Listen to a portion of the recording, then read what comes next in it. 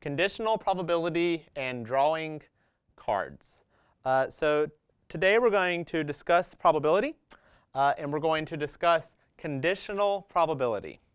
Uh, this is different than uh, when we discuss independence, uh, the second event is not affected by the first event, event. But with conditional probability, this changes. The second event is affected by the outcome of the first event. Uh, so here's the question. Uh, what is the probability that two cards drawn at random from a deck of playing cards will both be aces? So we're drawing two cards. We're drawing card one, first card, and then we're drawing card two, the second card. Uh, if you look at a standard deck of playing cards, I have a standard deck right here. You see there are four aces out of 52 cards.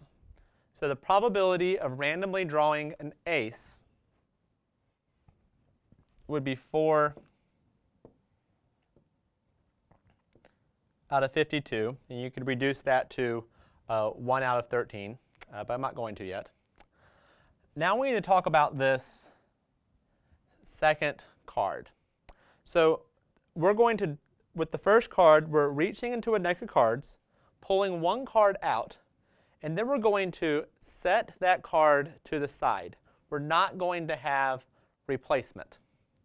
So let's just say I draw an ace. Let's say it's the ace of diamonds.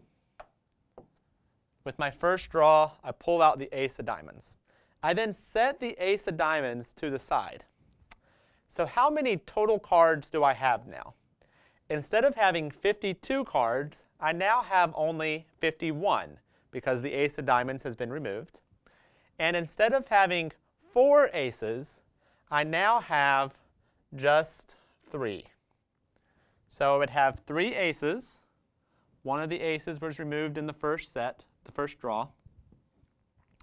And then I would have 51 cards left.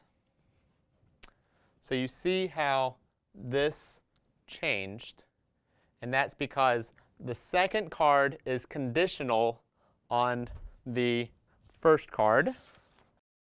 So if we uh, do 4 out of 52 times 3 out of 51, we would get 12 over 2,652.